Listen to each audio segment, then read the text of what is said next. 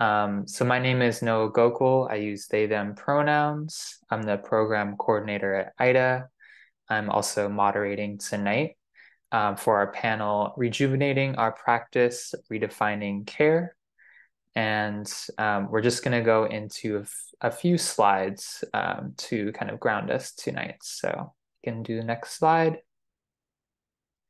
So for our um, event tonight, we are recording this event and we'll be sharing the recording with anonymized, you know, removing faces and names.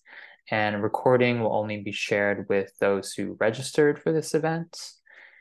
And as people are starting to do already, feel free to use the chat to engage with one another. Um, we have our community agreements that we use from IDA that will apply to the chat.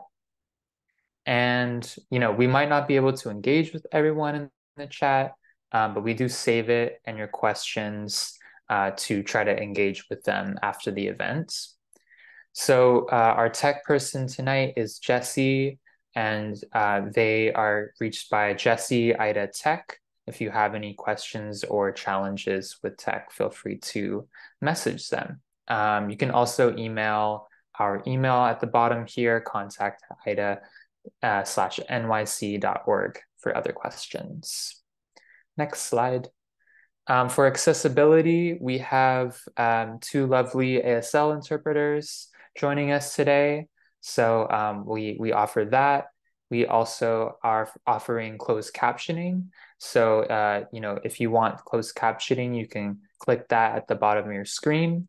Um, you can also toggle between speaker and gallery view during the session. Next slide. So um, who we are. So this event is by the Institute for Development of Human Arts and we are a community of current slash prior mental health service users, survivors, psychiatrists, psychologists, and other clinicians, activists, artists who come together to transform mental health care. What we do is advance critical, effective, scalable alternative approaches to mental health through collaborative education and community development. And we're unique because we integrate experiential and academic knowledge. We challenge the idea that only those who work in the fields of mental health are the experts. And we're shifting power dynamics in a system that generally only privileges professional expertise and experience. So for our community agreements uh, that we, we like to share for all our events, uh, these are shared expertise and wisdom that everyone really brings their own expertise to the conversation. So, really tuning into everyone's expertise, collective liberation, that overcoming oppression aids everyone's liberation, and listen like allies, that we want to respect all of the different uh, choices and perspectives. And even if we disagree with them, we don't judge or invalidate other people's experiences. Um, also, um, I want to ground everyone in at IDA, what we talk about is transformative mental health. Um, and this is the, the lens that we employ.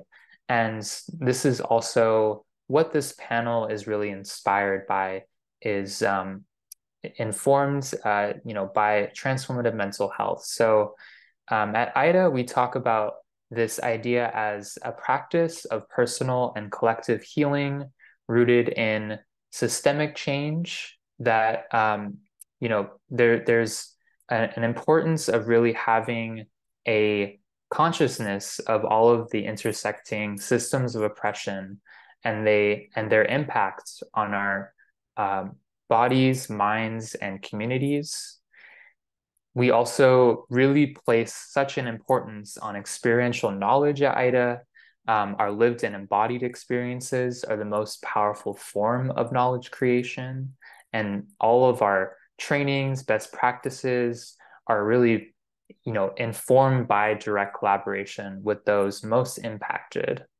And also, lastly, holistic care, really uplifting voices and frameworks that bring us fuller understanding of mental health, that healing is a creative process and really wanting to address the whole person and the broader societal context. So that's what we talk about when we talk about transformative mental health.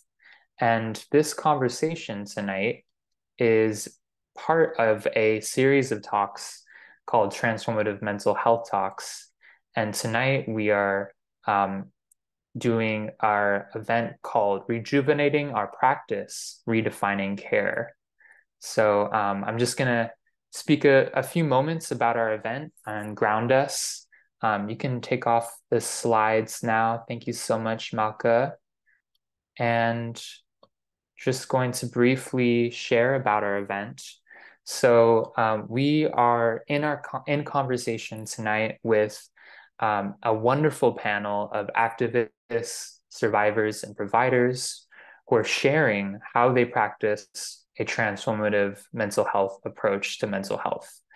Um, panelists will be sharing how they fostered community to bring about positive change in and outside the system, and really instilling these intentions of justice, choice, collectivity, liberation into their work. Um, they share the, the ways that they've found healing outside the formal mental health care system to really impart wisdom for those working within it. And so we really intend this event to uh, kindle hope and connection that you're not alone and that you can be part of a wider movement for change. And this event, like I was saying, is part of a new talk series inspired by IDA's transformative mental health core curriculum. And it features its faculty diving into timely topics interacting with transformative mental health. So um, I'm going to keep it brief. I'm really, really excited to hear from our panelists tonight. Um, I think that you know this conversation is so needed because um, you know for myself as a, a peer who was working in the system I, I felt so disillusioned by you know some of the problems i was seeing. They weren't um, given a lot of choice or voice. Um, different approaches weren't centered. And i felt like i was really complicit in um, you know a, a system that wasn't um, giving a lot of choice and and wasn't built for the healing and transformation I wanted to see. So um, I'm so glad to be part of IDA and to be having conversations with the folks that are are here tonight. So um, without further ado, I will welcome them to um, introduce themselves one by one. Um, so yeah, each of the panelists will have uh, four minutes and you can just introduce your name, your pronouns, a brief visual description, and then um, after respond to the following prompt. What roles and relationships to mental health do you hold, and how do they shape how you show up to this conversation today? So, um, if you don't mind starting, I will pass it off to Vesper to to kick us off. Hello, y'all. Um, my name is Vesper Moore. I use they, a pronouns. Um, I am a brown indigenous person. Um, I'm wearing a white t shirt with uh, Geronimo on it, uh, also known as Goyahkla, uh, the leader of the Bedonkohe um, band in the Apache lands of New Mexico like a gray curtain next to me. I have a lemon tree behind me and a gourd mask of my ancestors. Um, what brings me to this space is a wide variety of things. I am a psychiatric survivor. I'm a mad person. Um, I would say a lot of my life experiences and a lot of the things that have brought me here today um, are really what contextualize that experience. Uh, but as well to that, other roles um, I am in this space too as an activist that is really looking to um, between between abolition and and and and what policies that actually do serve us and rights that we do have in the United States um, continue to do the work that that is needed for our community, our people. Um, I would say that there's a lot of lineages with that when you are a survivor, um, when you do have these experiences. And I'd say that I come from lineages of many different movements movements for disability justice, movements for mad liberation, movements around um, housing and racial justice, movements around so many different things. Um, so it's great to be here with y'all. Thank you so much, Vesper. And uh, you reminded me that I, I didn't do a, a visual description. So um, I am a brown non-binary person of color with long black hair. I have a green sweater and behind me in my background, I have a white wall with um, some pictures behind it. Um, so then I will pass it to, who is next on my, uh, Ji-Yun. I'm going to pass it to Ji-Yun to introduce themselves. Hello, hello. My name is Ji-Yun. I use they, she pronouns. I am a East Asian femme. I am wearing glasses and a baby blue tank top, sitting in a big office chair. I've got a mirror to the side, a, a plant, and some art in the background on a, against a white wall. Um, firstly, I want to locate myself. Um, I am currently zooming in from Manila, Philippines. Um, I was born in Bucheon, Korea, and I am usually, uh, I grew up on and I'm usually resided in so-called Vancouver, Canada, on the unceded territories of the Musqueam, Squamish, and Tsleil-Waututh peoples. Um, yeah. So I am coming into this space uh, mainly in two parts, but more. Uh, for one, I am also a psychiatric survivor with lived experiences of uh, mental illness, madness, and mandated hospitalization.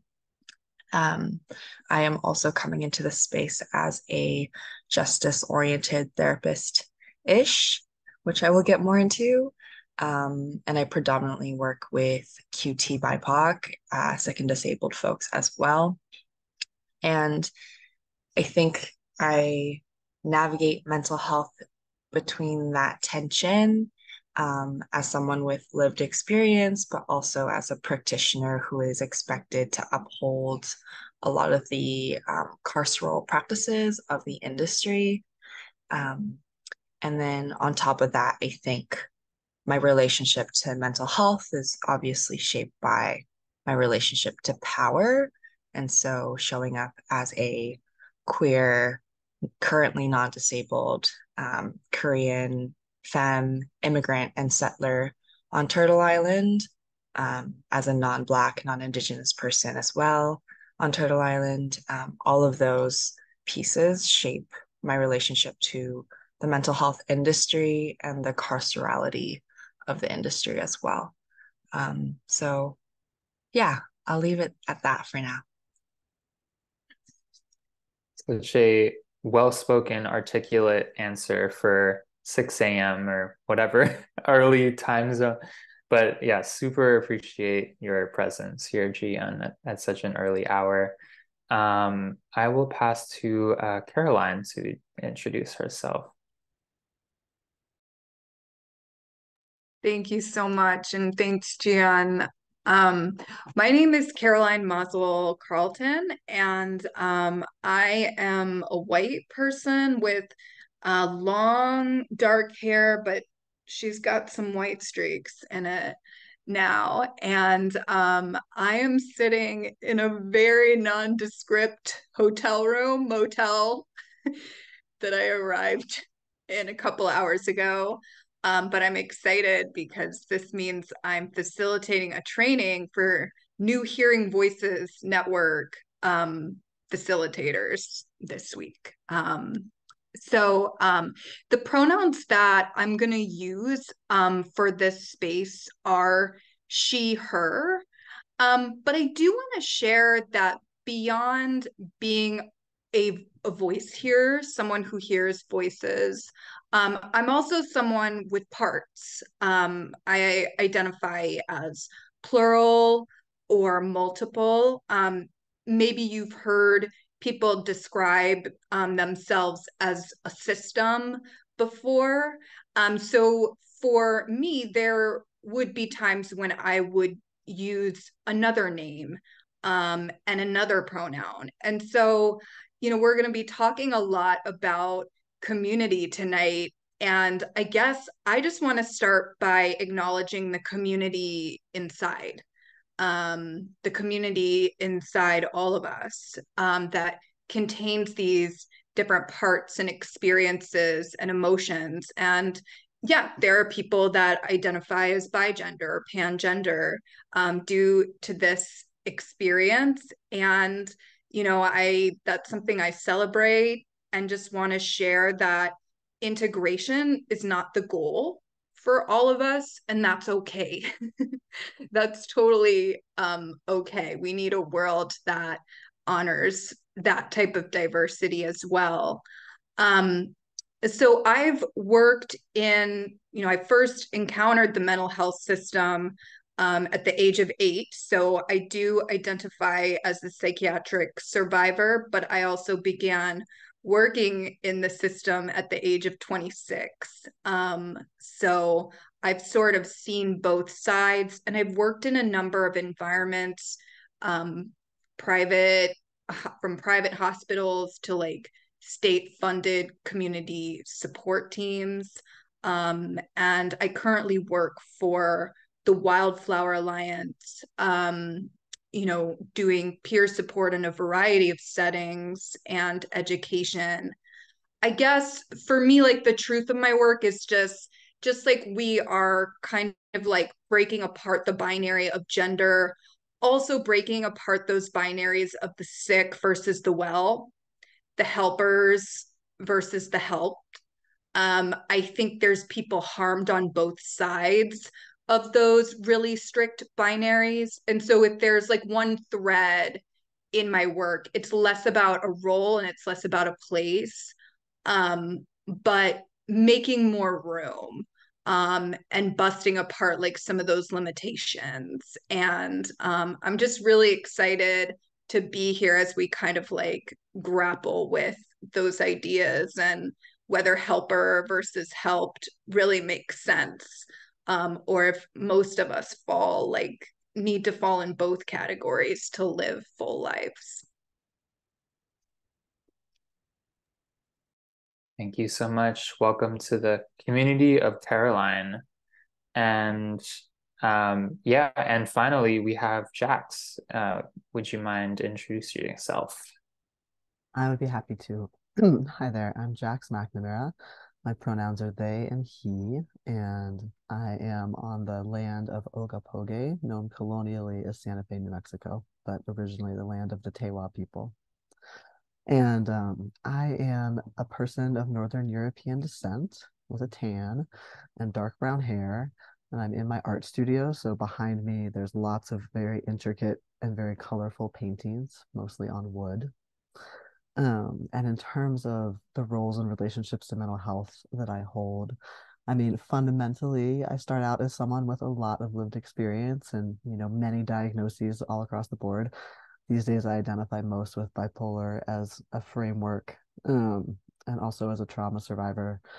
And those experiences led me to co-found the Icarus Project many years ago, which was a radical mental health and mutual aid project that spread all around the world, and now it's known as the Fireweed Collective. And so those years as an organizer with the Icarus Project have deeply shaped who I am and how I relate to mental health in terms of trying to find more liberatory and complex frameworks for understanding why people struggle and really fighting against the reductionistic thinking of the Western medical model. Um, eventually, in my own healing process, I decided that I wanted to help other people in their healing processes.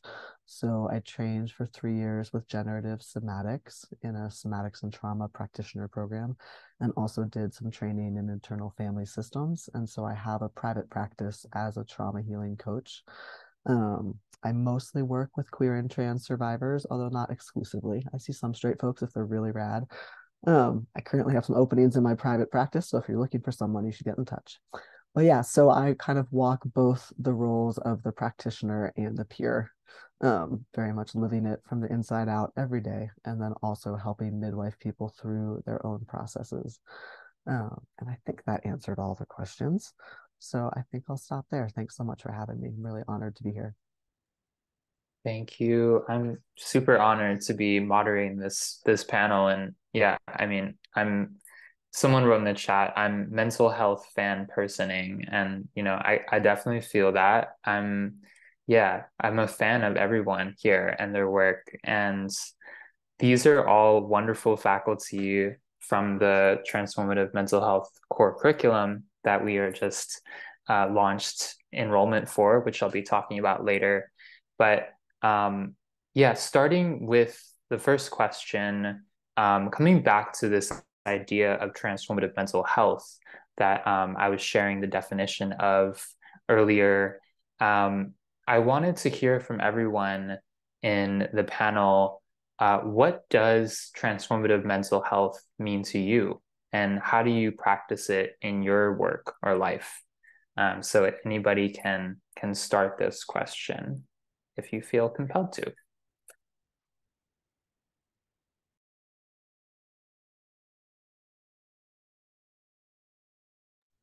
Transformative mental health for me uh, means a wide variety of things. So I think I think what's interesting is is that when we talk about transformative mental health, I think people might think, oh, well, do you mean transforming the way these services are offered or doing this or that? And it's like, um, partially, uh, if we wanted to not necessarily think of them as services, right, um, and change our relationship, right, to it. So I think it's really it's transforming our relationship with the ideas of what we often call health health of the body mind right mental health um, and that that transformation looks like a wide variety of things uh, kind of like acknowledging community more expansively and the capacity for care and support that exists in communities inherently so for me, transformative mental health means that it's transforming the narrative and transforming what it looks like in our society. I love that, Vesper. Um, I'll just add on to that a couple thoughts. One of the things that comes up for me when I think about transformative mental health is I think about it as opposed to, for example, mental health recovery and the whole idea of recovery, which I think of as a word that is about going backwards. Like I'm going to recover some mythical time back when I was healthy. And that for a lot of us, A, that time never existed, especially if we came from oppressive or abusive situations. Um, and that whereas transformative for me creates a space where we can be moving towards something new rather than recovering something past. Um, and then in order to move towards something new, in order to be part of transformation, we're looking both at personal transformation and at social transformation. Like it's impossible to be a fully healthy human in a completely broken world. And so, how do we engage with shaping the structures around us as we also engage with reshaping our own survival strategies? And where do we want to land, you know, if we're able to reshape some of our survival strategies. So those are just a couple thoughts.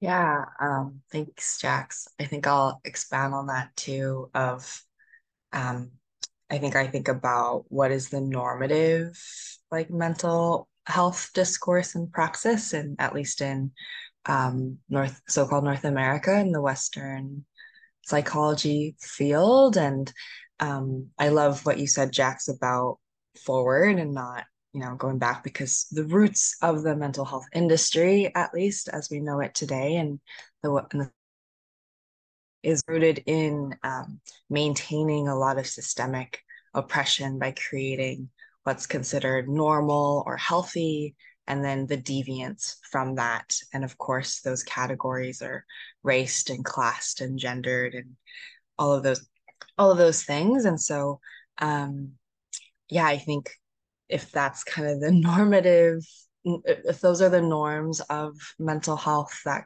have been um, built, but also like perpetuated and upheld by the industry, for example, um, in the West, then transformative mental health is a way to transform even just those roots, I think, of how we um, experience mental health, both, you know, individually as well as collectively. Um, I also connect transformative mental health to transformative justice as well of, you know, and, and healing justice as well of, you know, how do we embody and practice and like what what do we need to practice differently or embody differently and heal through and work through in order to co-create more liberatory ways of relating with one another with ourselves and also in co-creating more liberatory, less harmful worlds. Um, and so that transformation doesn't happen just on a personal level, but also in community and on a collective level as well.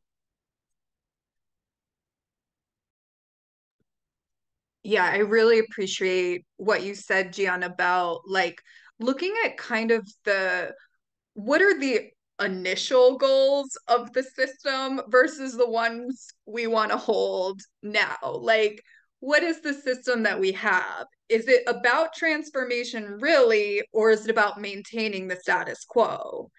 And I know for me, like some of the responses I received, like I remember a time I was hearing voices when someone called the police um to me it wasn't even just maintaining the status quo it was protecting the status quo from me. And um that was a hard place to really grow and transform from you know? And like i remember other experiences i had in the system like i'm sure there's other people who've been on like 15 minute check where like to keep your to keep yourself to keep you from killing yourself instead of looking at transforming your life you know a big guy with a clipboard and a flashlight comes in like while you're sleeping on that plastic mattress and shines like a flashlight in your face um, which for me is like you know like a lot of voice hearers i'm a sexual abuse survivor. This did not help me transform. This kind of brought me back. Um and so i think it's so important that like the people in this room kind of define this conversation because i think like there was a point i realized where in the system um that risk management was not the same thing as healing um, and I think every one of us is going to confront that moment, right? Where it's like, what we're doing here is managing risk, but this hasn't actually given the space for someone to transform. Um, like I was just talking to someone this very day where they were not allowed to use a CPAP machine on a psychiatric unit because even though it gave them like so much much needed sleep because they said you know the risk management team thought that it would be a ligature risk. So this thing that would allow this healing sleep for this person they weren't able to have access to because they were afraid that you know they would choke themselves with it. Um so i think you know all of us are going to have these we all have these incredible gifts that we can offer people in terms of like deep listening presence um curiosity um and I think the transformative aspect is moving away from just a system that manages risk to allows us to try new things and take some risks in the spirit of transformation um, that acknowledges that suicidal thoughts are often a desire to be transformed. Um, you know that um, allows us you know i'll just give one example like from my practice now um, that was never done in a risk management system which is dialoguing with other people's voices and other people's parts. That was just never done.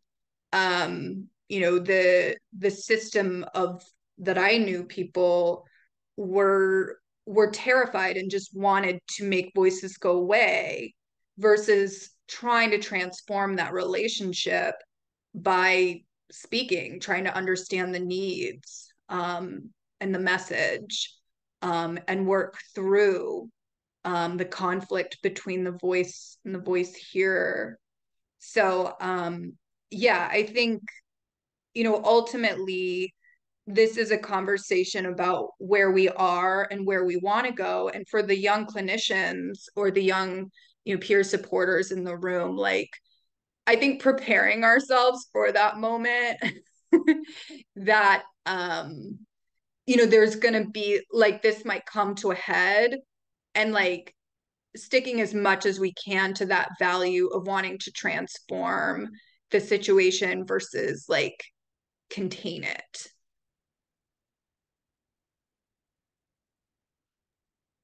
Yeah, thank you so much for these beautiful answers. Um, and yeah, I just also love that they're also different. And I think it really shows just with this question of what is transformative mental mental health to you, um, you know, how many ways that can be answered and that they're all like we that there's a power in the the fact that they're all together and that we can hold all of these truths and ideas um, and that and that's what makes it strong. So really appreciating yeah all of these different perspectives.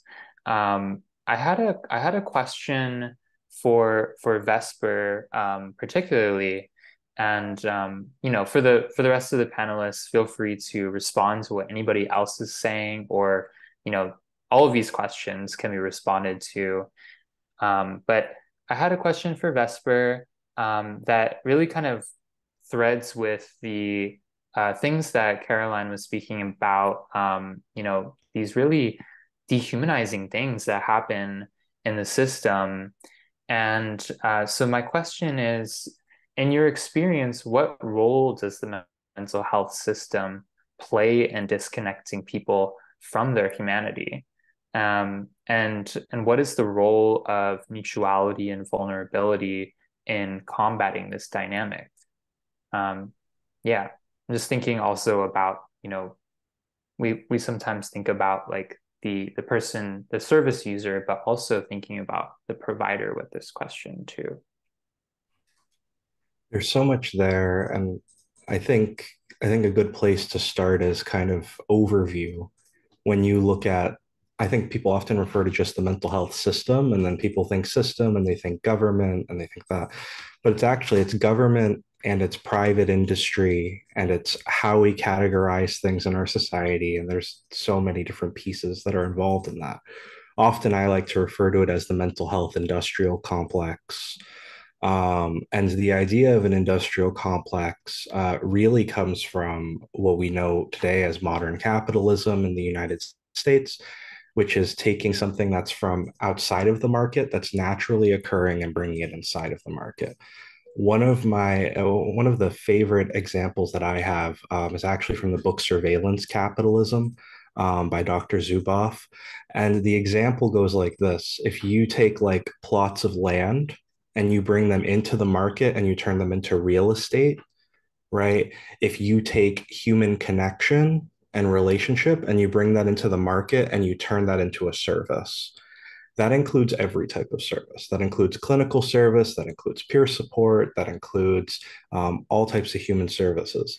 And I mean the professionalization of peer support. I don't mean how it naturally occurs in our community and how, how it's existed for thousands of years in many different spaces.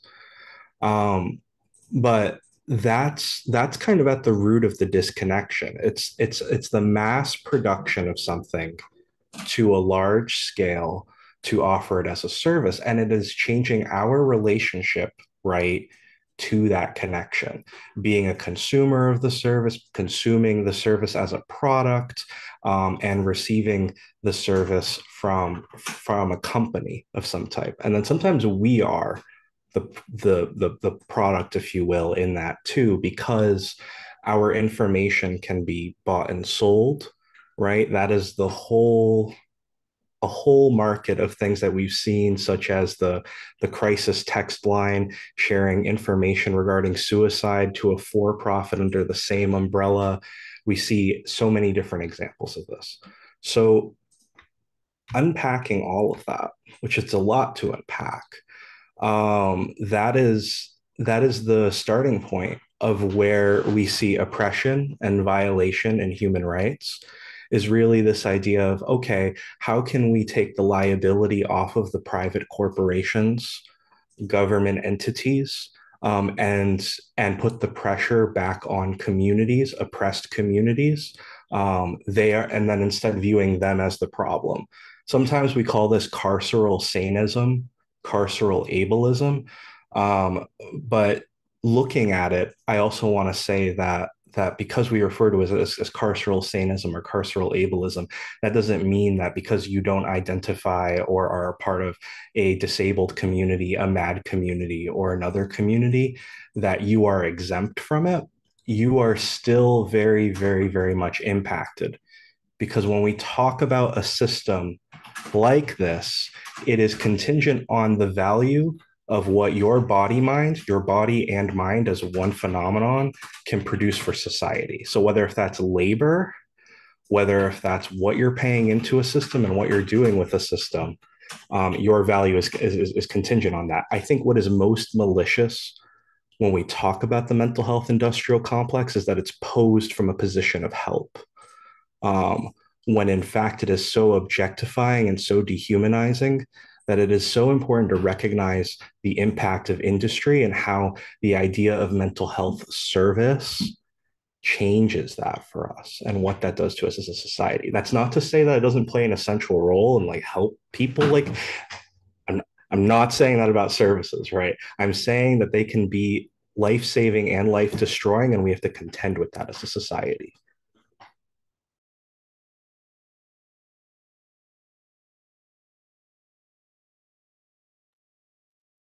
Thank you so much, Vesper.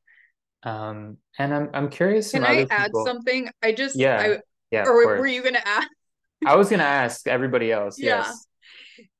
Yeah, I love what Vesper said, and like, you know, I want to acknowledge because I'm seeing some in the chat, like, you know, there's there's different systems, and we have different systems. You know, not everyone in their role, you know, is able to be as independent of the system though i will say you know in in massachusetts you know we have some organizations like wildflower alliance and kiva center that get dmh funding um, but do not have to do referrals or diagnostics or insurance and stuff. So there is there is a middle ground.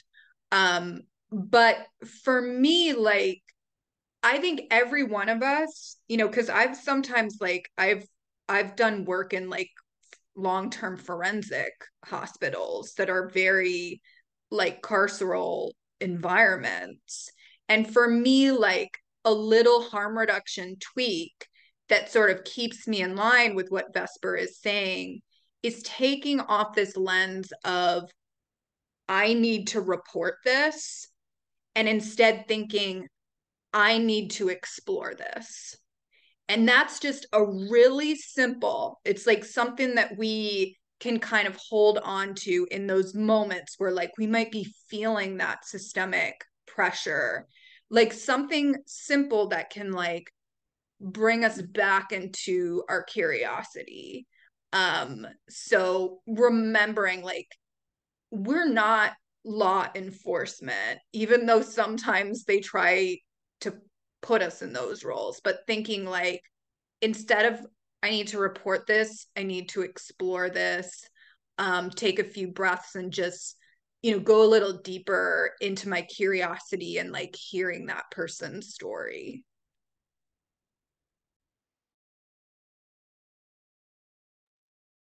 Yeah, Jax, do you wanna do you wanna add to that?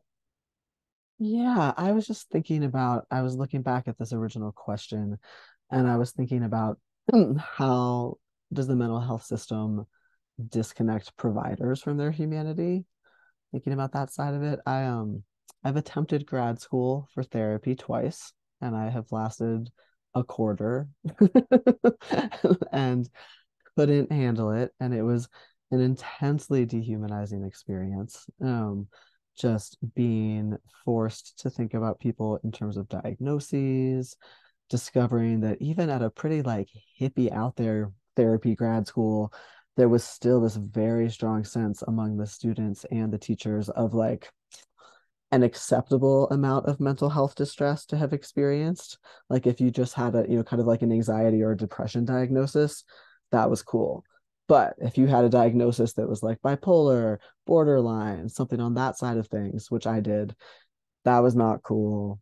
People did not know how to handle the idea that you might be becoming a clinician, but you had been through serious extreme states. Um, and and it was really clear to me that to get through that that situation, I was gonna have to like just kind of chop off part of my heart and do this huge disconnection dissociation process.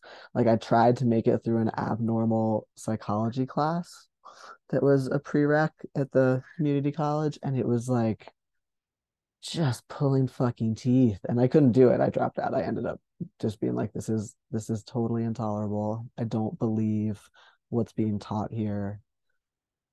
And I can't disconnect from my humanity long enough to pass this like one semester course. and and it just really made me wonder like what and this and this was not like you know going to a psychiatry school at like a state college. This was like a hippie school and it was still totally intolerable. Um yeah just how much are clinicians having to practice really intense forms of dissociation in order to remain in the field and in order not to fully acknowledge the humanity and the complexity of their patients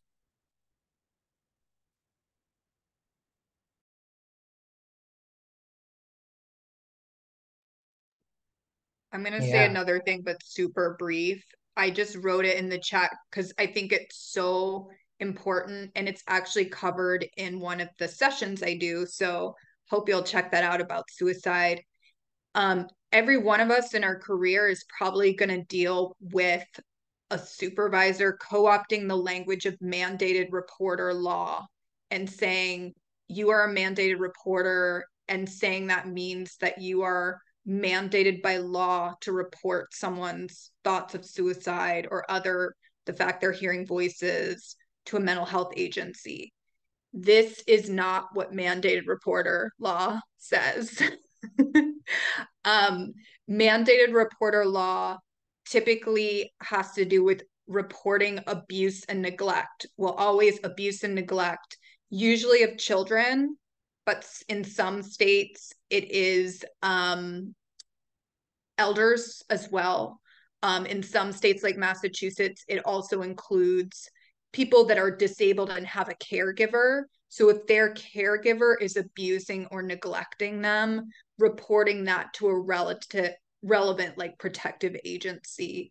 Now, I'm not saying mandated reporter laws don't have their problems, but I think it's really important that we know what they say and they don't have anything to do with thoughts or feelings, reporting thoughts and feelings. So again, you may you will we've all gotten that pressure but i just want to make sure it's clear that that pressure does not have the force of law behind it those are agency policies you know it, which is different than a law even though sometimes they act like they're not it's different.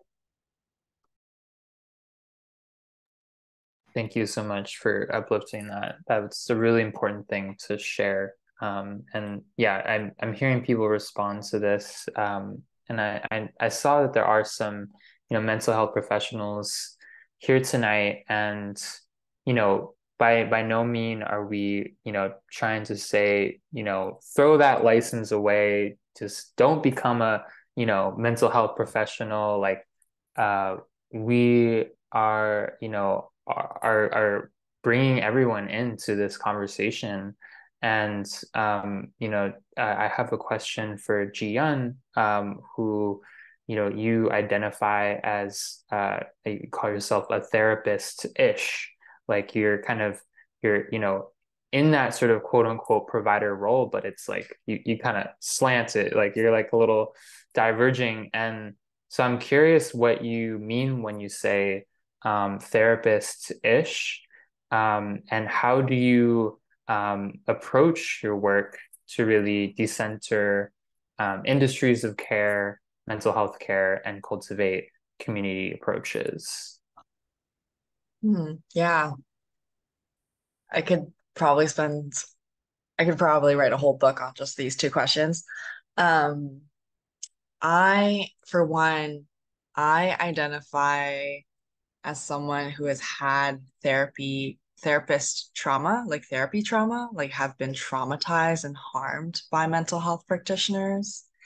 And and at the same time I am, you know, a registered therapist, a professionalized mental health practitioner in so-called Canada. And so there are a lot of tensions there that I'm holding. Um, I think for one, just like I for one, the normative therapist, there are, um, as what Vesper said, um, the commercialization of care further individualizes wellness and healing. Um, and it becomes this like situation where we pedestalize therapy and like, oh, don't talk to your friends about it. Go, go talk to a therapist. And like all of this care in terms of mental health, for example, is expected to come from this one professionalized practitioner who is unfortunately expected to and is um, uh, who has learned to who is taught to be afraid of our clients um, of losing licenses right? And therefore perpetuating a lot of these carceral practices of the industry. Um, and so I say therapist ish because I don't even like saying that I'm a therapist. Like I technically I, I am, you know, that is um like a the license that I got and that's the job that I do, or rather like community role that I that I play. Um, but I want to really blur what therapy is and is not and what a therapist should and should not do because there are many many um, some explicit and some uh, not unspoken expectations around those divisions. Um, and so oftentimes something that comes up amongst practitioners is the code of ethics. And um, a lot of the code of ethics are like, cool, yes, um, this makes sense. Um, and a lot of, but and at the same time a lot of it is written under this illusion of protecting a client.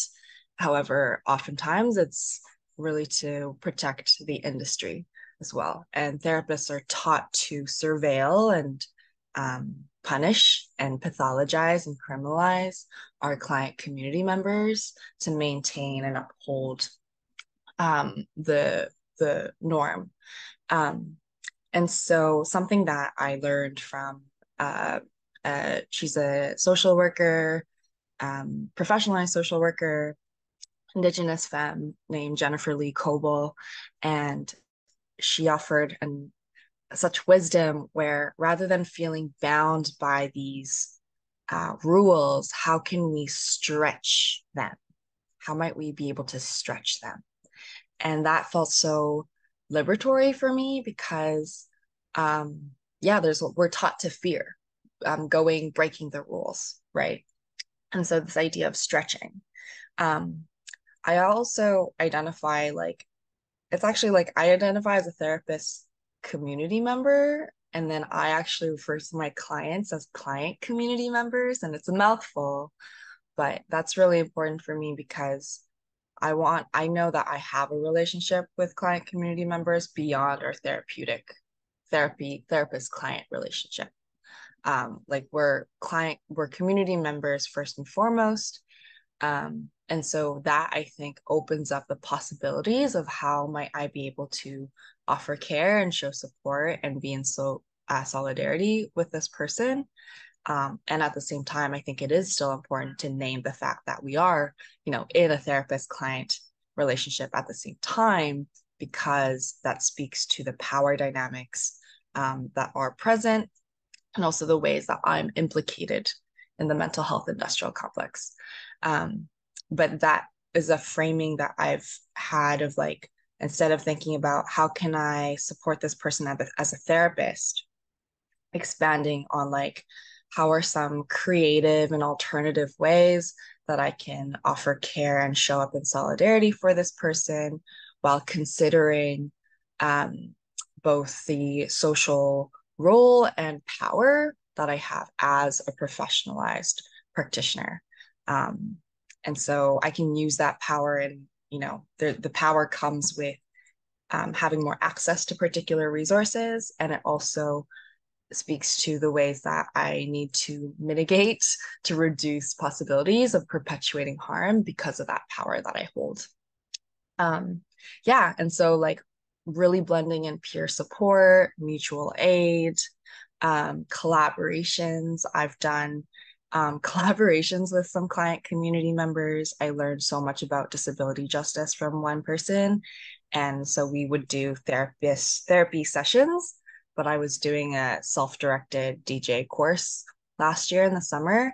And um, they we so we had DJ chats alongside our therapy sessions and we i like compensated them by just like trading um, those two offerings.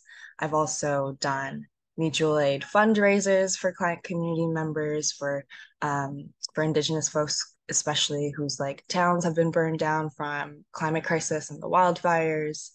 Um, having folks like do their own little section on indigenous wildflowers in my newsletters right there's so many ways to collaborate and um, i believe that we're capable of communicating right of like communication and boundaries and like checking in of like how does this resonate and i've also had situations where i invite client community members into my kind of like social spaces because we're all trying to look for other queer Koreans, queer politicized Koreans, and it's such a small space. And it didn't feel good for me to have access to this community.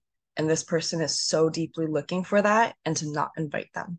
Right. And so, how do we work across, just like communicate and really centering that community members piece first and foremost, and then adding in, and then just, you know, mitigating and recognizing the how that might shape the therapist client relationship and in what ways could it actually you know make that blossom even more and in what ways might we want to kind of set some boundaries as needed so yeah i i'm now excited about being a therapist ish because there's so many possibilities of how we can relate with one another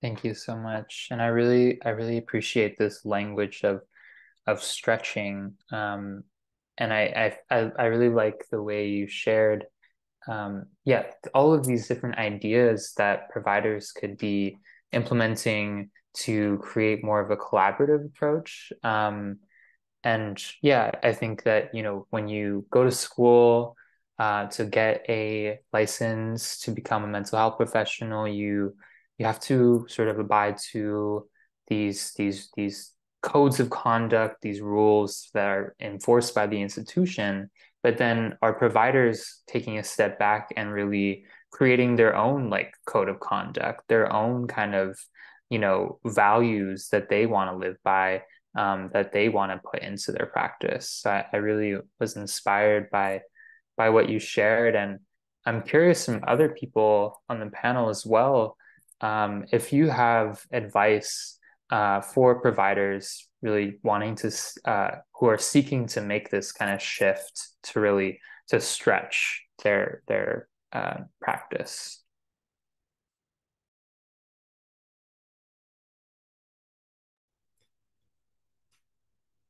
I I would just say a couple recommendations. Um, I, I I would invite them to look at non-carceral frameworks um, and trainings. I think that's an important place to start.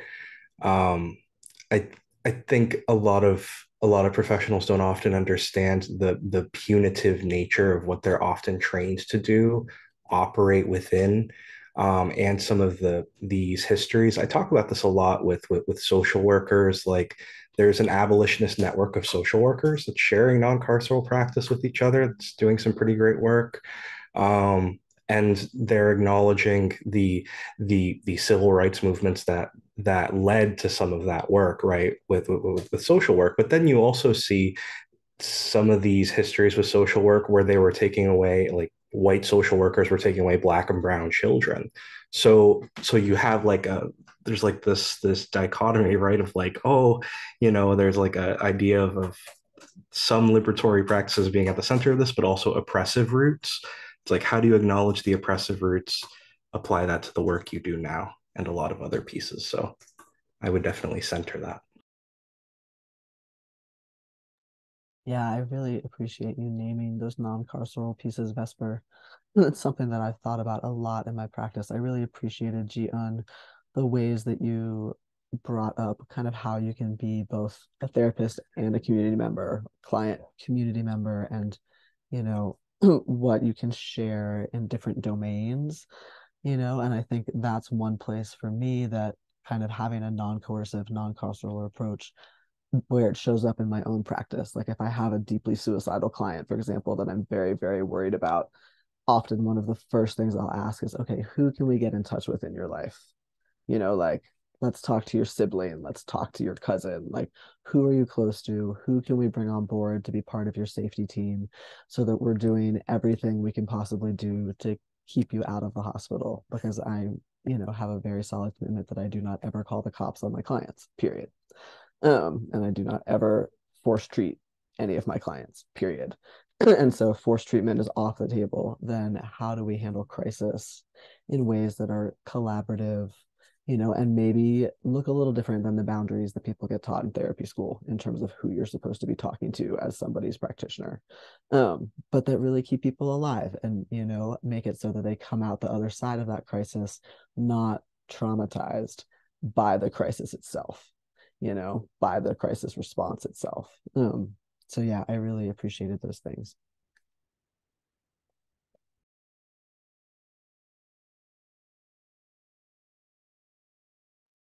Yeah, I'm really loving this conversation too. And, you know, I think, Ji-Yun, you had used a phrase about like, like community, what was it? Uh, like a community client community member. Yeah. And like one of the things that I've thought about before is like, how would our work change? Instead, if we didn't view ourselves as like, oh, I have to fix everybody or I have to save everybody, but we just saw ourselves as community builders. Um, you know, I have this voice in my head that actually gives me really good advice sometimes. And she'll tell me, she'll call me Rivka, which is my Hebrew name, and she'll say, Weave, Rivka, weave. When I get really stressed out, when I feel like I have to like save everybody because I have those moments, she'll tell me to weave, which I think, you know, means like weave people together, like like build community because you can't do it all. And like so I wonder like if we all just use that lens of like i'm a weaver i'm a community builder braiding. Yeah i love that language in the t- the chat. How that would change things. And i know like you know it can be hard and it can be hard you know Jax you know talks about like how you know when someone is sitting in front of you and they're really struggling and but you know like you know, that acute hospitalization is not going to make their community bigger and um, it might limit it. And we've seen the data of, that it doesn't reduce suicide rate. So what we what do we do? And I think some of those questions that Jax offered are really important. Um, and you know, some of the questions that I ask people is, you know, are is there ever a moment like is has there ever been a moment in the past week or month when you didn't feel like killing yourself? Was there ever a moment? Where were you? What were you doing in that moment who were you with? What were you listening to? How are you moving your body? Um these are kind of the ways that we can sort of begin to find like the beginnings of that like tapestry, like connecting with what they're still connected to. Because I've found like everyone, you know, even someone that is like deeply, deeply suicidal, that can be a hundred percent true. But reality is multiple. And they might be deeply, deeply suicidal in that moment. And they might really be looking forward to the next episode of RuPaul's Drag Race. And that's super true and important. Or they might be working on a piece of art. Um, and like that's something that as like weavers, as community builders, um, we can kind of think of. And yeah, like, you know, I work with some very young people sometimes, sometimes 11 years old. The parents want them to avoid the system. Um and so remember like music can be a community. Like you know what song you know are you playing on repeat right now or is there anyone on youtube that ever describes how you feel um we can start like community mindedness we can we can build it up but yeah, it, it often involves like getting in touch with what are some of those little things that are still keeping this person alive.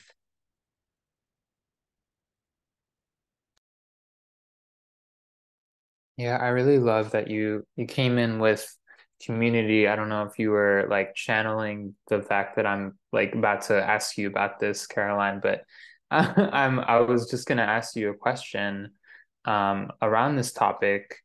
Uh, so, one of your lessons in the core curriculum, you emphasize that the things that are most helpful for people um, to survive are relationships that are warm, curious, and compassionate, and a community where they have a purpose and a role.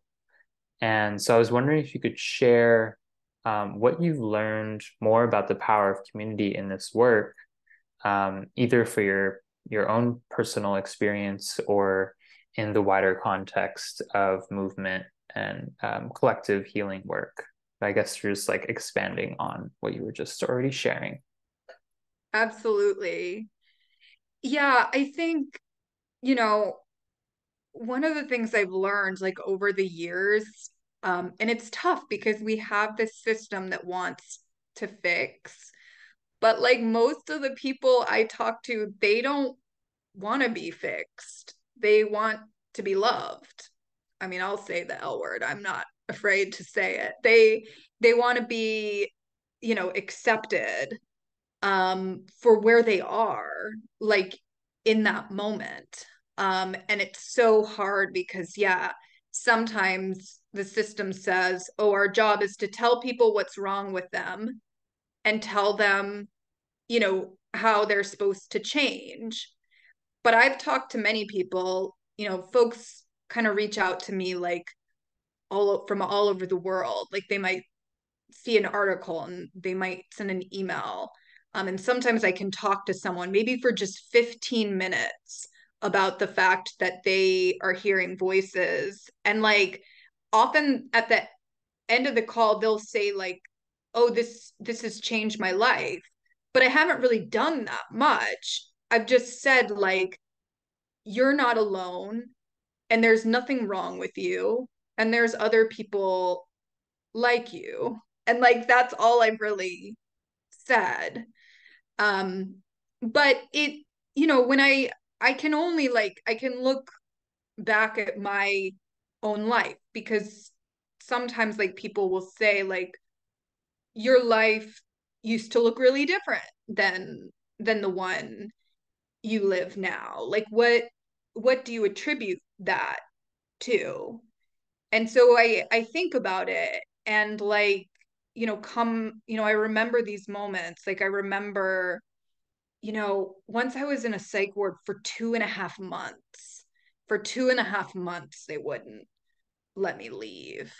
Um and i just i couldn't get any privileges like i couldn't get like any movement. But like i remember on that psych ward i was in there for like all these holidays and someone asked me like do you want to help light this menorah?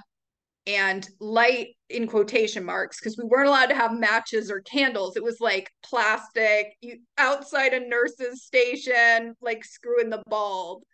But like somebody invited me and like you know someone said words in hebrew which they translated into english which was essentially talking about this force in the universe that had kept us all alive to see that moment and like how like incredible that was. And i remember like looking around and there's someone like literally in a back brace because she had thrown herself off of a bridge. And it was like whoa like we are we're alive um to see this moment. And i think for me like i've it was a huge probably the most healing moment on that psych ward. Um but i think what was so healing about it was it made me feel like i was a part of a wider story. Um you know vesper talked about the importance of lineages um, because they give us a context before mental patient and then they offer us like you know a pathway forward. Um so i think you know and there's so many moments of my life like you know the the staff person that took me to see a roller derby game um and you know being allowed to become a part of that community um you know getting to take care of animals. Like i was lucky i got to live on like a therapeutic farm and what i'll say is it was really the animals that did most of the therapy like animals can certainly be community too so i just i benefited like you know from all these moments where um you know, people allowed me to be a part of something larger. And I guess like I like honestly like I can't remember like any of the CBT skills they taught me. Um and I can't really remember like um any of the DBT other than the ones she like took from like I think Buddhism because later like I learned that's where most of it comes from. Um, but what I remember are like those moments where I felt like I had a reason to live. So it's like, it's less about like, oh, I need to give people skills, um, and more like, I need to walk with them as they find their reason um, to be alive. Um, and um, there there's one more thing i there's one little story i want to share um where um i once had someone call me and she was in a lot of distress. And you know we talked about what she was going through and all this stuff. And um there was this moment where she said to me you know caroline you once said something that changed my life that changed my life. Um and i like started to think like oh my god like what was it oh did i you know did i like give some amazing like coping strategy or like what did i do did i drop some like pearl of wisdom and i was like you know, ready to hear like what I'd done. And um what she said to me was I was like, yeah, just curious like what what that was. And what she said to me was one time you logged in to the online hearing voices group and you said, "Oh my god, every time I log into this group, I'm terrified. I think something's going to go wrong and I think the like Zoom is going to break down um and I'm totally scared." And I guess I had said that out loud. I don't even remember saying it. But to her it changed her life.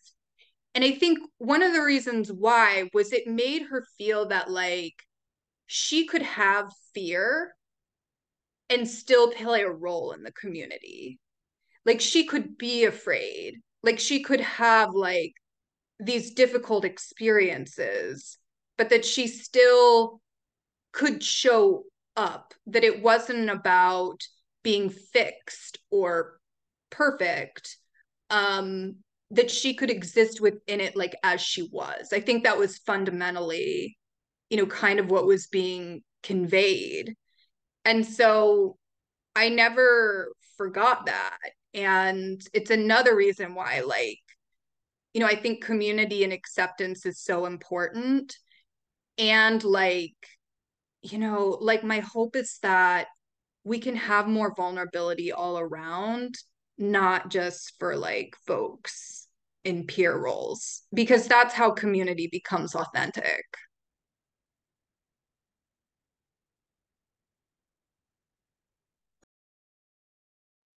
Yeah, I, I really love just all of your sharing about just this this idea of like authentic community where you can just show up as you are.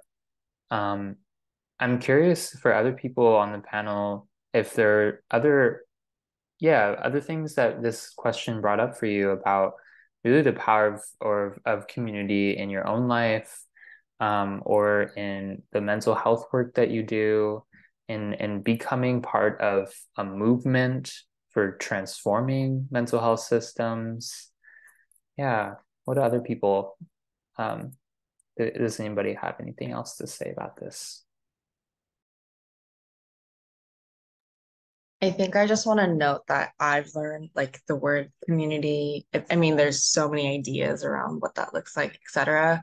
And I think I've learned to um I've learned so much about community building as like a series of skills and practices that we um, that we embody um, through disability justice, right? Like especially sick and disabled, QT BIPOC, where you can't rely on the institution and commercialized forms of, of care because of um, such intense carcerality.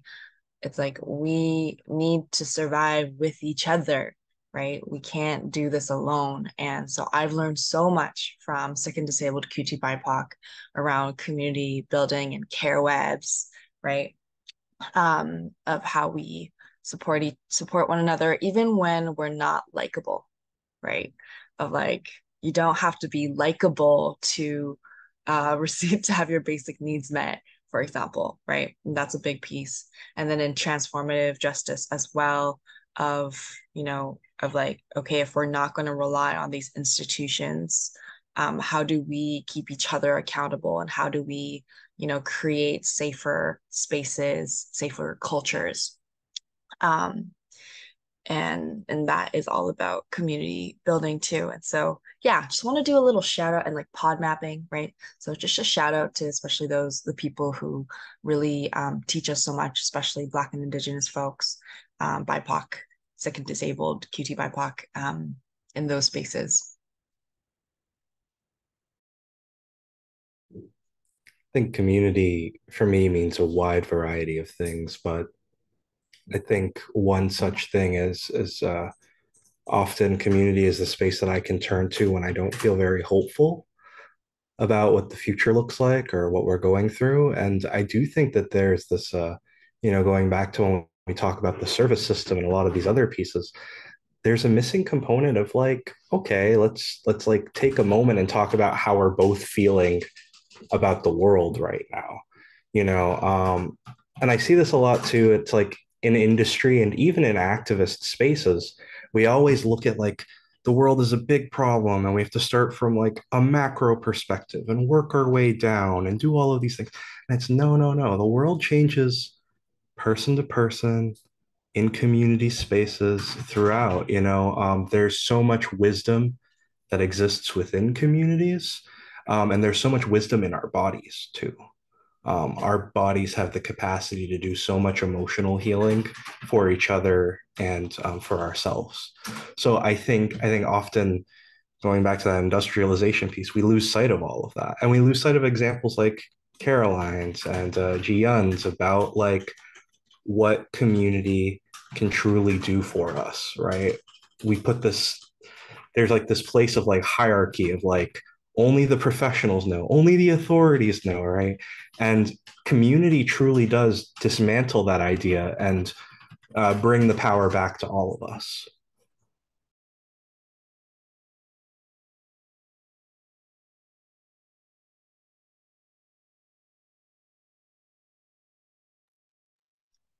And I think one thing I just wanted to add because like Vesper made me think of it um like you know when we when we talk about um capitalism too i think we need to discuss how that has made community more difficult in many ways. Um this pressure to always be producing um people lacking you know the the inequity um, makes it really difficult for people to have time to just sit and be together.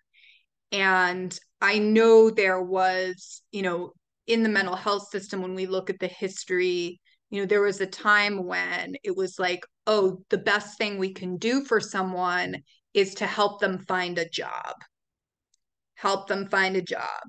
And it was really like anything, like, you know, making widgets for Jeff Bezos in a factory, like working for like big corporations.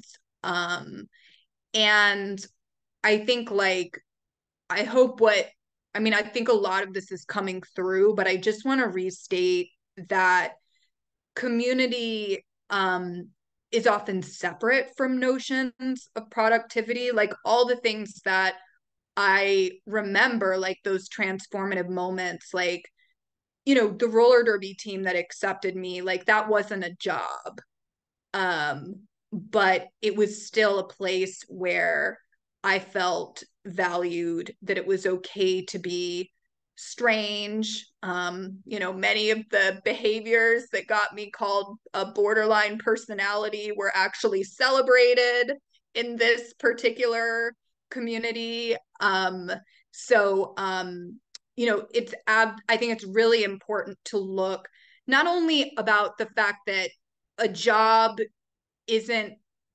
doesn't necessarily mean community for everyone and that sometimes overemphasizing the work role and the work identity can even like cause harm in us building community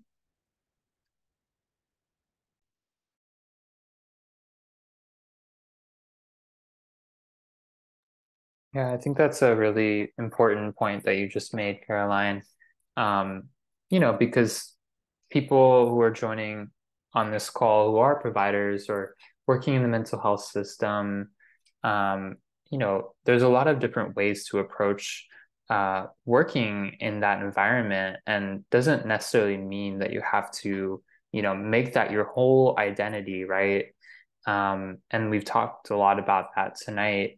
Um, but how are we, you know, caring for our individual selves as well, um, and in community so that we can show up in the way that we want to in in this sort of stretched way. Um, and so I have a question for for Jax on this. Uh, so you know, when we are trying to move beyond these sort of individualized, um, just solely medicalized approaches, to mental health, uh, it really requires these uh, an expansion of our toolkits. And I've heard you talk about, you know, having toolkits you've developed um, as a trauma healing coach, facilitator, and educator, how have you developed your toolkit? Um, what practices, resources, and networks have aided that journey? Yeah, thank you for the question. Um, I'm trying to decide whether to answer it first from a personal level or whether to answer it from more of a professional level. Um, I think I'll start from the personal level because that's where my journey started. Um, you know, I think like a lot of us who get thrown into the system young, the version of my toolkit that I was handed by psychiatry and Western mental health was drugs. That my toolkit was drugs. And, you know, maybe the other part of my toolkit was like, if I couldn't sleep, call my psychiatrist so he could give me more drugs. Um, and it became pretty clear to me at a young age that that, that was a wildly insufficient toolkit for actually living as a human. And I've spent a lot of time being like, what else can go in my toolkit? You know? So, um, and that's was one of the things when we started the Icarus project all those years ago that was so important to us was helping people build out their toolkits. So like is it food that you need to pay attention to you know like i know now that if i'm starting to get manic it's really helpful for me to eat food that's really grounding like sweet potatoes and things that come out of the earth like that's a part of my toolkit you know is exercise a part of my toolkit you know especially if i'm getting depressed. Are there ways to get my body moving even if it's super minor even if it's just like going for a walk around the block with my dog because that's all my depressed ass can handle doing. But like are there ways to bring you know exercise into the toolkit? Um are there ways to bring different embodiment practices into that toolkit? And sometimes an embodiment practice for me just looks like taking a really hot shower. Like when i say embodiment practice i don't necessarily mean it has to be something like now it's time to go do 30 minutes of yoga and have tremendous self-discipline you know a lot of us when we're not super well don't have access to the parts of our brains that can do 30 minutes of yoga. Um, so sometimes it's just like I'm dissociated and I can't feel my body. I'm going to take a hot shower.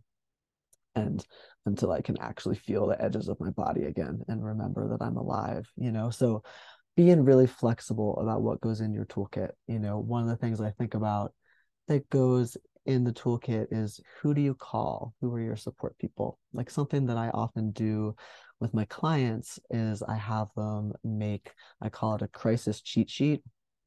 And so it's just one piece of paper of what you can do if you feel like you're going to lose your shit. And we try not to put too many things on that piece of paper. It's not like the whole toolkit, it's not trying to be comprehensive and overwhelming. It's like, you know, I am going down the vortex and I need to stop.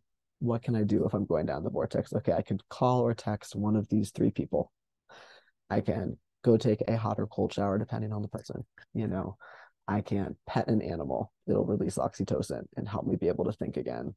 You know, if somebody has a rescue med that works for them, like Ativan or Zyprexa, you know, whatever they might be using, or if they have a rescue herb or a rescue flower essence, but something that's kind of like, I'm pushing the panic button, I'm going to put this down the hatch. That might go in the crisis cheat sheet. And that might be it. And so the idea with the crisis cheat sheet is just like, this is what's going to get them to a place they can kind of think again, where they have access to more thoughts and more options. And then maybe once they're in that place, you know, they can start to be like, I should probably reach out to my therapist or like, you know, whatever might be the next thing that is helpful to them. Um, but really trying to build out a sense of having choices having choices that don't just involve Western medical professionals, um, having choices that are really accessible. And um, yeah, I don't know, there's so much I can say on this, you know. And then sometimes with people, I also work on building out a toolkit that is kind of bigger and more robust. So beyond just the crisis cheat sheet, it might be more of a mapping tool like TMAPS, um, or like WRAP for people who use that tool. I generally use T Maps with folks. And so TMAPS, we build out a much bigger sense of like, what are my warning signs when I'm slipping off the tracks? You know, what helps me get back on the tracks, uh, the track I want to be on, not the like capitalist Western idea of like being a productive worker, but whatever somebody's own idea of health is, what helps me get back on the track for that, for my idea of health. Um, like really building self-awareness and building a sense of what's possible. Um, and I use this tool. I mean, I use those kinds of tools for myself and have for many years. Um, oh, thanks, Jesse, for putting the link in the chat for TMAPS. Um, but I also use them with my clients all the time. And they also become a tool when you write all this stuff down. A, it's a great place to have really good conversations with whoever you're writing it down with. B, it becomes something you can share with your support people. So you can share it with your friends, you can share it with your therapist, you can share it with your family, whoever you actually trust that you want to be kind of an intimate part of your pod helping to hold you. And then they have more information about what you go through what that looks like how you respond to it. Um so yeah those tools are really really useful. Um and then I'll say that as a practitioner, just because we have a lot of providers on this call as well, like I've been pretty strategic about educating myself about what are tools that I can use with my clients that are going to give them some concrete skills. So, for example, I took a little class in the resilience toolkit that has some very basic somatic practices just around like breathing practices, just different kind of nervous system regulation practices. Um, and I use the resilience toolkit with my clients all the time and just teach them these really simple, basic practices that they can bring on board when they can tell like oh i'm really dysregulated. How do i get back inside myself? Okay let's do settling breath. Here we go you know or whatever the different practice might be. So like i've learned things from the resilience toolkit i've studied ifs quite a bit and parts work i find incredibly helpful and i educate pretty much all my clients about parts and the idea that they probably have parts running the show a lot of the time and that whatever I could do a whole webinar on that. So I won't go super into it. I'll just say parts work and IFS are super useful. And then also the tools from my training in generative somatics um, has also given me a lot of tools, you know, some of which are tools that are more like a thing you do with your provider, not necessarily on your own, but some of which are like just really simple grounding practices that you can absolutely do on your own at home. And I encourage my clients to work with. Um, so I could go on and on, but I think that's probably enough. So I think I'm going to pause there. Um, I would love to add just a briefly to that of um, another person that I learned a lot from. His name is Travis Heath, and he's a practitioner, um, uh, mixed race practitioner who I've learned a lot around uh, abolitionist therapy. And he reminded us in a offering of his that um, like Western psychology, the industry has only existed for like 100, 150 years. Healing and care has existed since the beginning of time. And so to really get creative again of like, how did our ancestors, however, people healed across all of these generations? Right. And even when we think about those tools, I think, I know for me, I've been like, what other extra training do I have to do? Like all these other extra credentials I haven't done them. I haven't done them. I know like my ancestors have healing practices, right? My community members, my other kin have healing practices that they've been passed down through their families and ancestors. There's so much wealth in culture and in our ancestries and our communities and just in our creativity. Um, Travis is um, he talks in a YouTube teaching called Radicalizing Psychotherapy. Um, he talks about how with a client they were talking about gardening. They literally freaking brought soil into the client session and like touched soil together. You know, like there's so many creative, and you don't need to get uh extra training and whatever to do that. Um, so there's so much creative there are so many creative ways of doing that and you don't need all these extra trainings or you don't need to feel like you have to do all these trainings to expand the tools that you're either doing for yourselves or um, offering to, to client community members.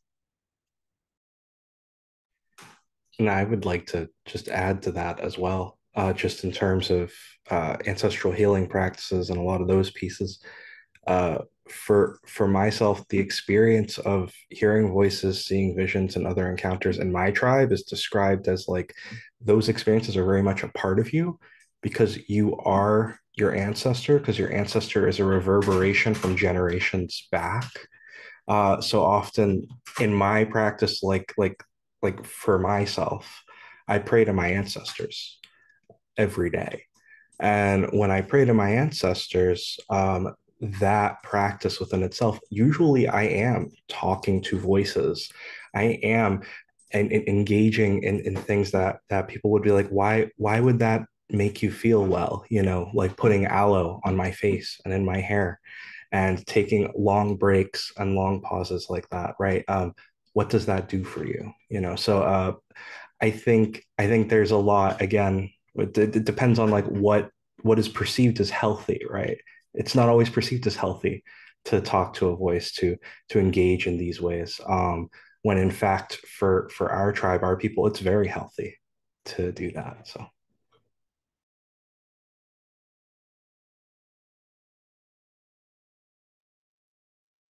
I would also, I think this is a really important conversation.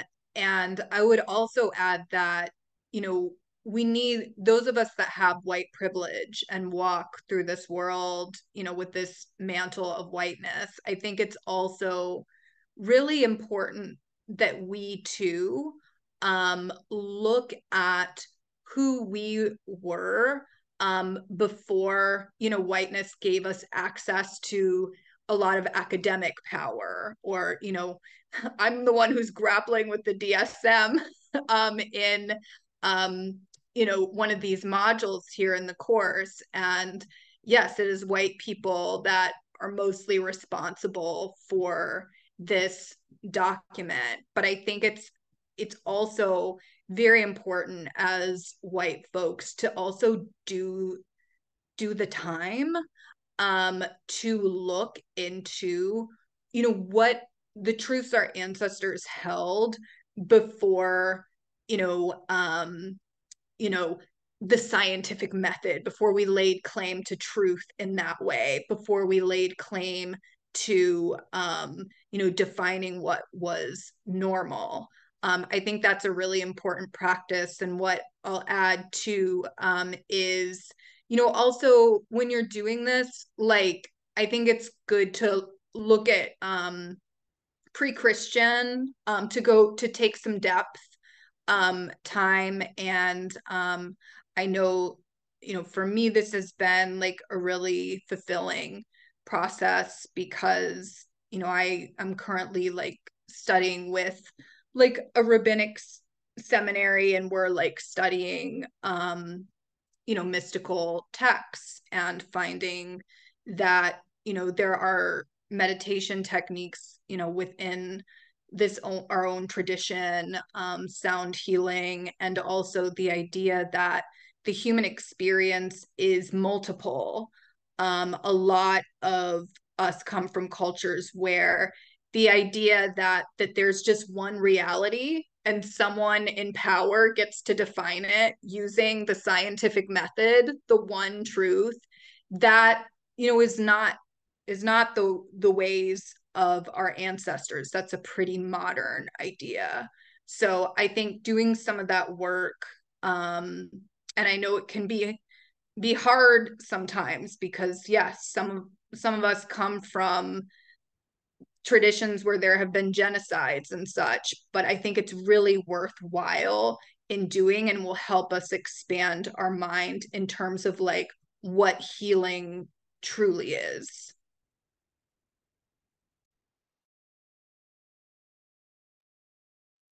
Uh, thank you for that that addition, Caroline, to to look at your ancestors and invitation for white folks to look at your ancestors. Um, and yeah, really also what people are saying on this panel of that, you know, it's not just the toolkit for the client, it's really for everyone.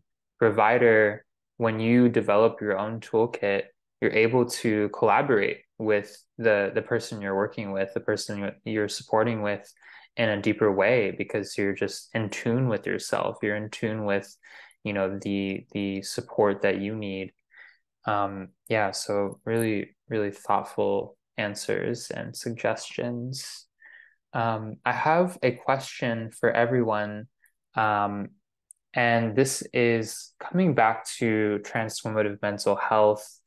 Um so i i'm really you know just wanting to leave people with this feeling you know um that that there's more there's more and and that they can be part of this. Um, so when you think about transformative mental health landscape or ecosystem what really excites you the most at this moment? What is igniting your hope? Um, so yeah feel free to to jump in um, anyone so much is igniting my hope in terms of expansive resistance that I'm seeing in more civil rights movements and just among people in general. More people are identifying as neurodivergent, more people are identifying as mad, more people are looking to see what these these these terms mean and what these experiences mean because they've only known the traditional mental health system and they've had these experiences and they're like wow that was extremely awful um can i like like like, like what, what can i do for myself? Is there more out there? So people are asking that question a lot. And i think i think the great thing for for us as a community and in, a lot of regards is that is that that that is going to lead to a culture shift of how we view all of these things. It might not happen now. It might not happen in the next couple of years but it's it's coming. Uh, the seeds are planted and they are sprouting. I think for me, um, I mean, a lot of things are igniting hope, but I'm really inspired by the work of the disability justice movement in particular, and just the ways that people are thinking through things like care work, like Leah Lakshmi Pyapchana and just the ways people are figuring out how to build care networks and really be there for each other on profound levels, I think is really inspiring to sound old, I'm really inspired by people younger than me and the shit that they are up to right now. Like people in their 20s, like Project LETS and Stefanie, and just people who are doing really incredible visionary work and yeah, have a much wider perspective than like I did back in my 20s when I was doing similar kinds of work. Um, also, IDHA gives me a lot of hope. For me, IDHA is really one of the beacons in the movement. And I'm not just saying that to like be flattering, but it really is. I look at what you're putting out there and how you're doing it in terms of the kinds of spaces you hold, the attention to who is present, the attention to like race dynamics, the attention to ASL support, and just all the ways that IDHA's trying to hold these extremely intentional spaces for transformative mental health. And I find it deeply, deeply hopeful.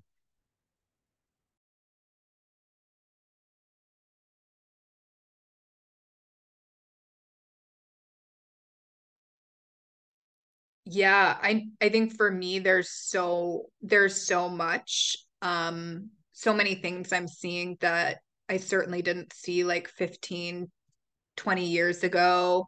Just a couple examples um you know in Massachusetts we have a few and I think they're popping up elsewhere true alternatives to the police like community responder teams that are really independent of law enforcement. It's been great to work with some of those as they develop their own identity um, and just you know we're doing something that doesn't involve someone with a uniform a badge and a gun. And that's that's taken so many years of like advocacy and work to make happen. And um it's really exciting. Um it gives me a lot of hope you know to be just a small part of that. Um doing more work with families too um we recently got this grant through like the attorney generals to work with families um and sort of like you know stop just having like this idea that there's like the the sick person and the family and fix that person but really work um you know with that like sort of ecosystem of the family. But um I guess what gives me the most hope is just increased vulnerability. Like I'll just give a shout out. I was doing a training recently and we were talking about a lot of this stuff. We were talking about like you know how risk assessment tools don't work, acute hospitalization isn't great. Like we were talking about all these new kind of responses uh, we could try for people who are feeling suicidal. And I had like a provider in that training just get really real and say, on an intellectual level, everything you're saying makes sense. It all like completely makes sense. And, you know, I'm on board intellectually, but like emotionally, like I feel this block. I feel this block. And I just, I loved her honesty in that moment because it felt like if we can get there, then we can just we can start to just get fucking honest about the fear that a lot of us are holding. And we can just start to get honest about like control and how sometimes we're pressured to be able to control things that like we literally can't control. Like I can't sit on a person and like keep them alive. Like and if I did like I don't know what kind of life would that be, but like learning to feel and name the fear but then also work with it. Learning to kind of let go of like these ideas of I need to control this situation, let that go and then just try to connect instead and I think this is like emotional work that all of us will have to do in every single role. Um, not just in the mental health system, but I think like in our society. Um, and I just, it's those moments where people are willing to go a little bit deeper and like say the thing out loud when I turned 30, which was quite a while ago at this point, you know, I made this vow to myself that I was just going to start to say the thing out loud that was like true, but like no one really, everyone was kind of afraid to say it, but it was like, you know, this is kind of what's going on. And like, I feel like I don't know, the next generations, like the coming generations are just really modeling that. Um and yeah, like I just have these incredible moments where I get to see vulnerability, where I get to sit down with like kind of like boomer dads, like my own that are kind of like my own dad, but we talk about feelings I remember like we got with one guy, he uncovered the fact that his problem with his son's voices is that he's jealous that his son talks to the voices and not to him. And we like cried together. And it was like that's that's the stuff right there um that gives me kind of hope for like a more tender connected world Oof, I love that. Um, I am excited for dreaming. I'm excited for spaces and practices of dreaming and co-envisioning and co-creating. Um, IDHA being one of them, interrupting criminalizations beyond do no harm being another one, and also just connecting with um, practitioners, friends through social media has its downs, but also I've met a lot of incredible people through it too, of um, just dreaming together, co-envisioning and co-creating together. You think um, oftentimes I've oh or or let me I'll readjust and say Talila Talila A. Lewis, who works at the intersection of abolition and disability justice. Talila, um, I can't remember the quote, but Talila basically said something along the lines of the one of the biggest gifts of the most marginalized is their dream work. And that dream work is so, so crucial and central that we are orienting towards something of like non-violence or anti-violence is not the goal for me. Actually, it's it's liberatory, pleasure, ease, whatever like the feel good being together interconnected loving that's the goal for me and so for us to be able to hold and address the harms that are currently happening and do that deconstruction work but also to do the dreaming and co-creating in community together as well and to have specific spaces where people come together and they're like let's create the space to dream together. Um, i see a deepening practice or or i'm more exposed to i'm exposed to more and more spaces and people who are dreaming these days. Um, so that's what's really exciting for me. Thank you all. And I'm gonna sound cheesy, I don't care, but you all are bringing me hope, you know, just by your presence in this world. So thank you for for being here. Um, and yeah, in just a minute, we're gonna hear from each of the panelists, um, briefly talking about their role as faculty in the um, core curriculum. And so, if you connected to this uh, conversation tonight, then this uh, curriculum that IDHA just launched uh, enrollment for is really another space for you to dream um, collectively with us. So I'm just going to um, briefly share about this uh, offering that we just um, created. Um, so the transformative mental health core curriculum, it's now um, enrolling and um, this this is a curriculum that we intend uh, for a primary audience of mental health providers and care workers. Uh, so social workers, psychologists, counselors, therapists, peer specialists, and nurses. Um, but also we invite so many other people who interact with this work. Um, you know, this could also totally apply to all of these other identities, uh, academics, researchers, educators, artists, active, activists, organizers, family members. It features uh, 48 faculty, uh, such as the wonderful people you met tonight from across the country and world that are bringing their lived experience and uh, research and professional experience. Um, and then we have two formats for this curriculum where you can join in a learning cohort to move through this experience together. Um, so you can really collectively dream with people and move through it together um, in these virtual discussions. And then we also have a self paced format where you can move through all of these um, eight modules at once, uh, working through at your own leisure.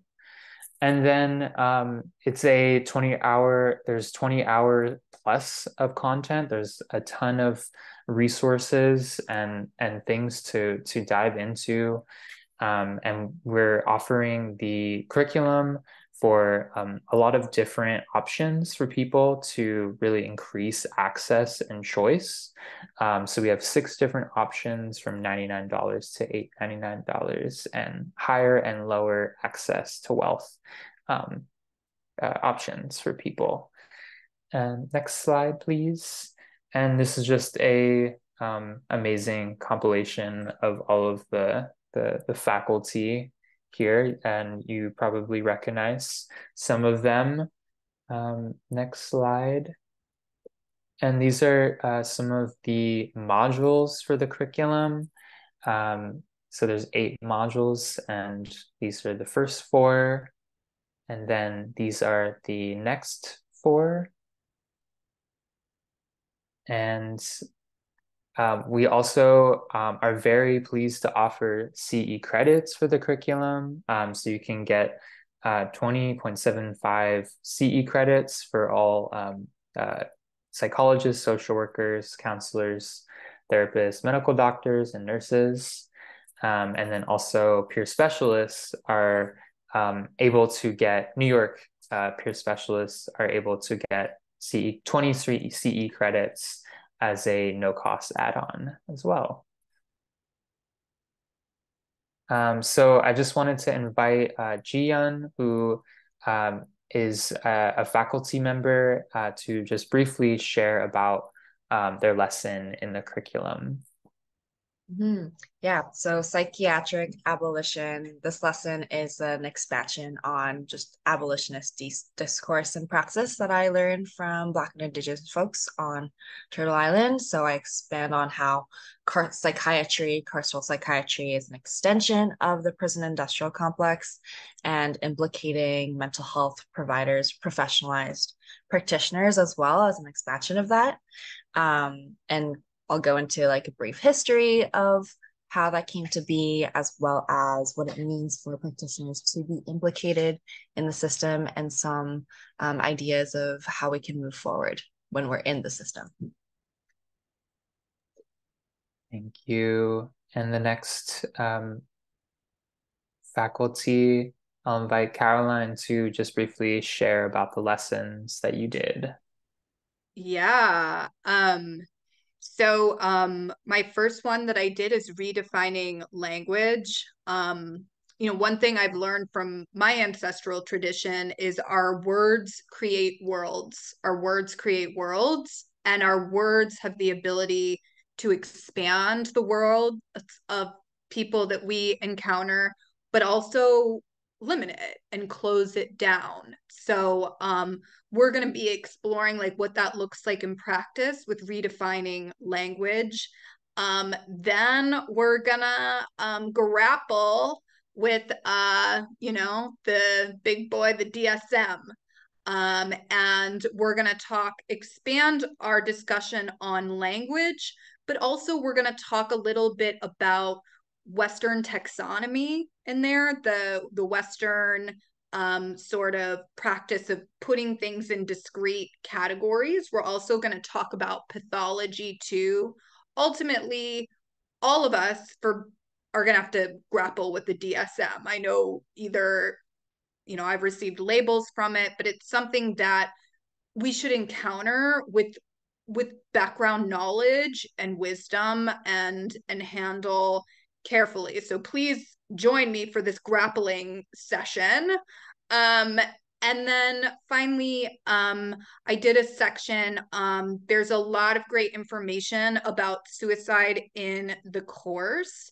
Um, the session that I'm doing, it's kind of towards the end, I think, of like, what do we actually say um, to someone who's feeling um, suicidal? And then what are some things we might shift our paradigm away from saying? So, um, yeah, hope you'll join me for some of these. Thank you, Caroline. And um, yeah, Jax, if you don't mind just sharing a few uh, sentences about your lessons. Sure, I'd be happy to. So I'm in the dangerous gifts and extreme states section of the curriculum. Um, my first lesson I do with Sascha DuBrul, and it's talking about the history of the Icarus Project. So yeah, all the way back to the beginning of why and how we founded it and the impact that it has had in the world.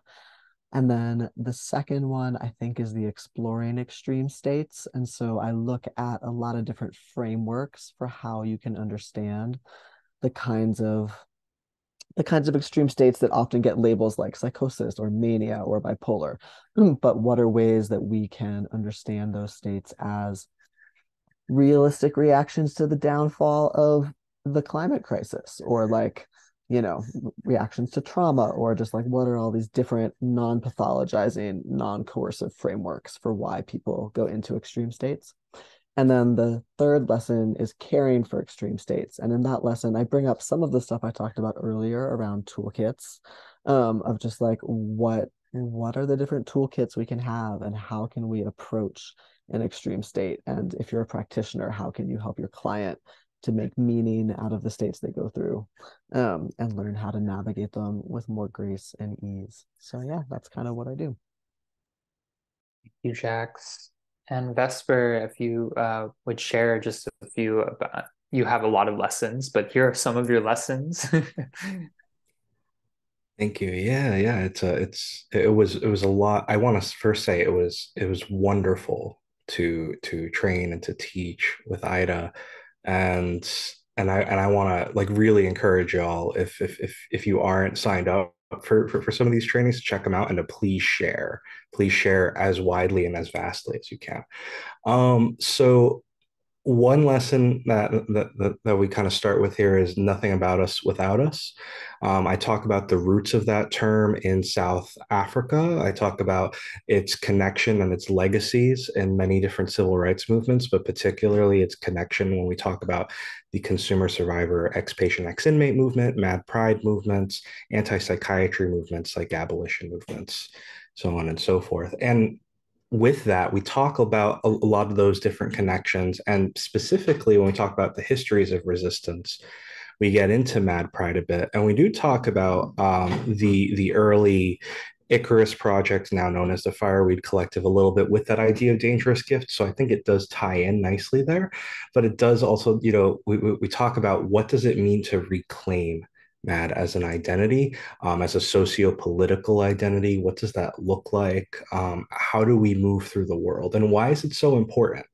Um, you know often I, I like to say that madness and being mad is about subverting that paradigm but why is that important right? So we talk a little bit about that um, and then we get into the consumer survivor, ex patient, ex inmate movement, and we talk about the histories of resistance, um, including a few uh, acts of civil disobedience, but also the the movements and groups that were forming across the United States and across the world, really.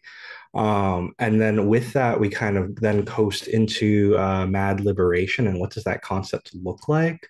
What does it actually look like to liberate our body minds um, from a carceral mental health system and the mental health industrial complex? How does it look? What does liberation look like when we're trying to to free our, ourselves of something that we are actively in every day in one shape or another?